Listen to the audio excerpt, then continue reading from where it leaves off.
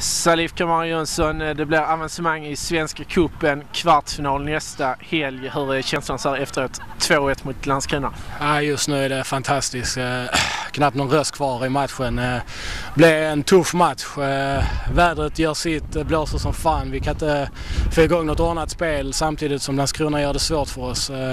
Jag tycker första halvlek, initiativet går fram och tillbaka. Men vi kämpar oss igenom det och tycker ändå någonstans man tittar att vi, vi kan ändå känna oss nöjda med, med denna vinsten. Vad är det som gör att ni inte lyckas eh, etablera något spel riktigt? Ni får eh, jaga väldigt mycket. Jag tycker första halvlek så tappar vi bollen, eh, lite som jag snackade om igår, att vi inte ska tappa bollen på onödiga ställen. Det gör vi. Vi alla uppspel och så vidare. Vi, sista passen sitter inte riktigt.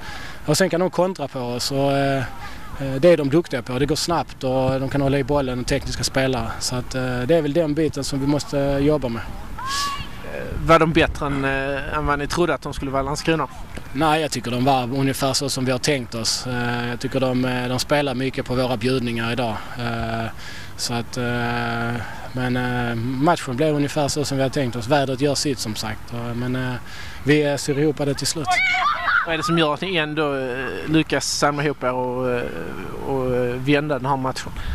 Jag tycker om tittar man i serien förra året eh, så är det ett litet signum att vi, vi är aldrig upp. Vi är tunga att möta och vi jobbar 90 plus. Och jag tycker likadant idag. Och sen får vi ett läge och så sitter den och sen så jobbar vi hem matchen. Så eh, vi är starka.